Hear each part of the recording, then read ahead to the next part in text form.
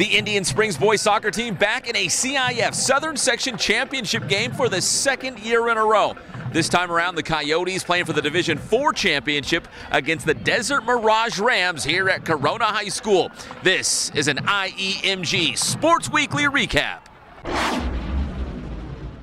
A wet and wild championship match. First half, it was the Coyotes in control and firing off shot after shot. The wonderful left footed strike from Jackson Bueso, but turned away. Later, Christian Duarte threading the pass to a streaking Uli Godinez. They nearly connect. Then a follow up attempt on the same play, but the Rams come out unscathed once again. Still in the first half, corner kick for the Coyotes, and another scoring opportunity, but it remains scoreless.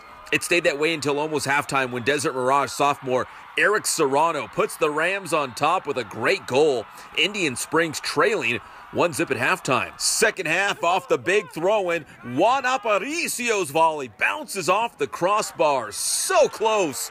On the other end, the Rams would draw a penalty shot, and Serrano converts as Desert Mirage now leading 2 0. Indian Springs down, but not out. The Coyotes storm back in the storm. Jesse Hernandez sets up Uli Godinez for the goal. The Coyotes are on the board, and they make it a 2 to 1 game.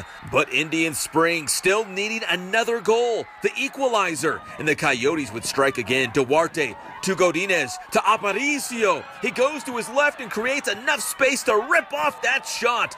Game level at two. What a goal by Aparicio. But the Coyote celebration would not last as Rams senior Alex Pimentel tallies the game winner with about two minutes to play. Desert Mirage edges Indian Springs 3 2 for the CIF Southern Section Division 4 title. You know, I'm very proud of the boys where uh, we are now. Uh, I am a new head coach and I am running a new program here with them. But uh, I'm very proud of them and um, congratulations to Desert Mirage for getting here and taking that win too. You know, I told the boys even after this game it's not over. I mean, we lost now, but now we got to go back to the drawing board and um, fight for a state championship. Desert Mirage wins its second CIF title in the past three seasons, while the Coyotes have back-to-back trips to the CIF Finals. Indian Springs will now turn its attention to the state SoCal Regional.